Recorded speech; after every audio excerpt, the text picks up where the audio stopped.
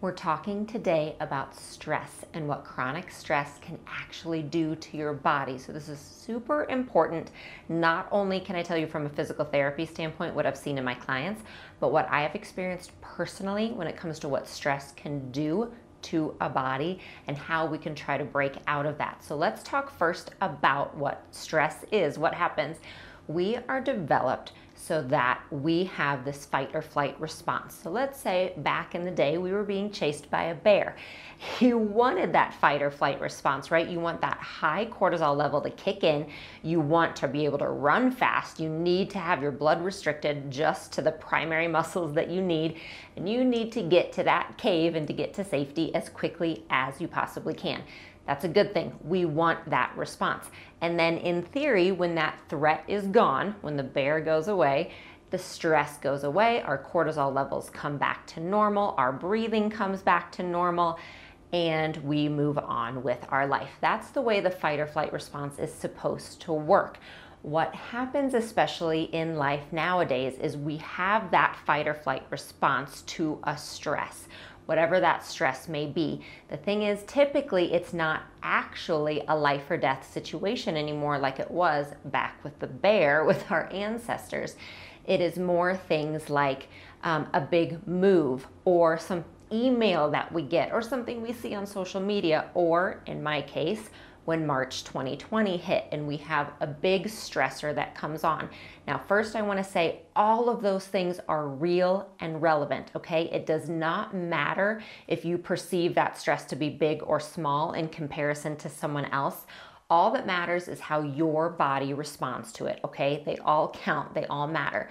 So we have that hit of cortisol. So, what happens when a threat, a perceived threat, or a stress comes to our life?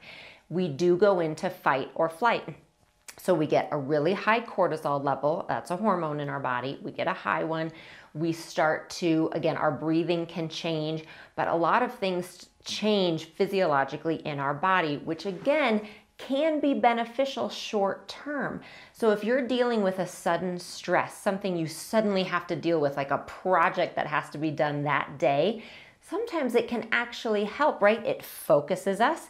It can even help your creativity. You can get that thing done. You have a burst of energy. Sometimes it can even help with a hard workout. That's not a bad thing. The problem occurs when we stay there, when we stay in that fight or flight response, when we stay in that high stress level for a long period of time.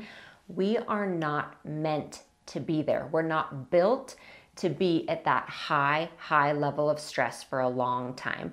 And in this day and age, and especially I will say for me since March of 2020, it was a high stress level that stayed there, right? We have this perceived threat of whatever it may be, and then we add things to it. So, what happens is we might add really hard workouts. That's not a bad thing, but it is a stressor to the body. We might start to lose sleep. That's a stressor to the body. We might start to see some problems in our relationships because we are stressed about something at work or something in the world.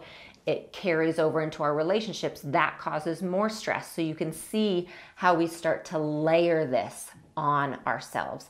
And there is research that shows all the detriments that can happen when we have a high level of stress for a long period of time. The first thing I want to say is it's not just in your mind, okay? That I have heard from so many people who feel like, gosh, just I saw a doctor for pain and they said it's just in my mind. What happens is stress may start in that way, but it does show itself with physical symptoms. So, what can happen with that long term stress is we can start having insomnia, we can have appetite changes, we can have problems with our digestion, right? If you start to have those tummy troubles, we can see it in skin changes, we can see unexplained weight loss or weight gain and bloating, and so many things like that. I will say, as a physical therapist, seeing people over the last two years virtually, I have seen a lot of people who've had things like tennis elbow pop up and tension headaches and things like that that are coming up supposedly out of the blue. But really, we can look back and see that they could possibly be related to this idea of high levels of chronic stress. Then you can also have Emotional changes, we know about that, right? We can start to really doubt ourselves. We can start to feel frustrated. We can start to feel anxious. And then we can even have some cognitive changes like memory changes and brain fog. And all of that we know from research can be caused from this high level of stress, high levels of cortisol that last for a long period of time when they aren't meant to.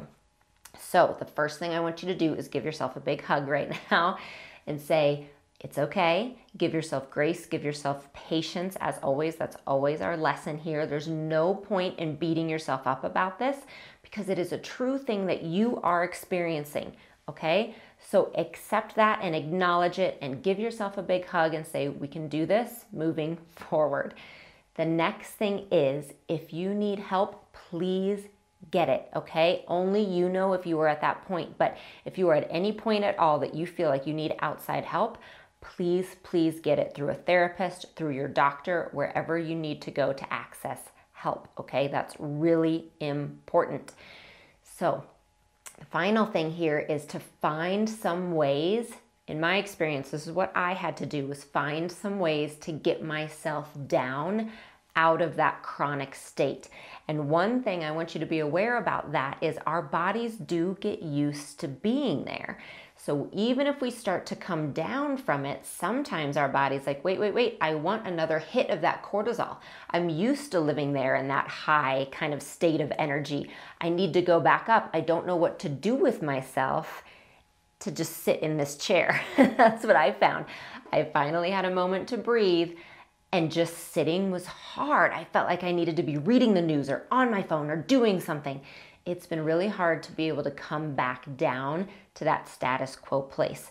So be aware of that and find some ways that work for you. So, what I had to do was really prioritize a couple things. I picked sleep as one in this crazy time of virtual school and lockdowns and everything, I was working, my husband and I both, we'd get the kids to sleep and we would work until midnight or 1 a.m. every single night, up at 6 with the kids to do it all again.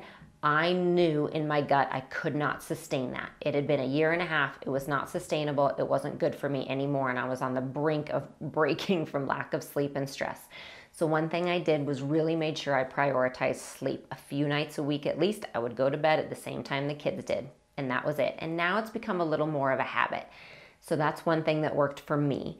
Another was I actually, and you guys have heard me talk about this, I worked with someone to get my hormones tested to make sure that I was doing everything I could on that side of things, especially after my hysterectomy, to get my hormones in a really good level. And then I really worked on boundaries, saying no to new projects. And that's a hard thing, especially if you work for yourself or you're an entrepreneur, or if in any way there are things in your life that depend on saying yes to people, or if you're a people pleaser, it can be hard to say no. But I really prioritized the projects I had in the works. I really prioritized Unlimited and my members. I really prioritized great workouts here on YouTube. I prioritized certain things in my work life and said consciously, I'm going to say no to new projects for now so I can get my feet back under me and then move forward. And I can say after six months of doing those things consciously, right? I reached what I felt like was a breaking point. I really focused on sleep. I really focused on not saying yes to every new project that came my way. I worked on getting my hormones back in line and then just really trying to enjoy some present, quiet moments with my family. After six months of that, I feel so much better within my body. It doesn't mean I'm not stressed right now, but it means that it's at a level I can control. I can find those quiet moments. I don't feel anxious all the time. And that is what has helped me personally. We are all different, so find what works for you. This is not medical advice whatsoever. This is just me telling you a story of what helped me and helping you understand what stress can do in your life and to your body physiologically so that you can start to take steps to get out of that chronic state of fight or flight because you deserve more, you deserve better, and you can find that better place one step at a time. All right, I hope that helps, and I'll see you soon. Thanks so much for stopping by. Remember, subscribe to my channel and you'll be notified every time a new video comes up. Like and comment on this video and let me know what you thought. You could also always come over to jessicavalantpilates.com to find all the resources I have for living a healthy lifestyle, including full length workout videos, healthy recipes, and a community I would love for you to be a part of. So I'll see you there.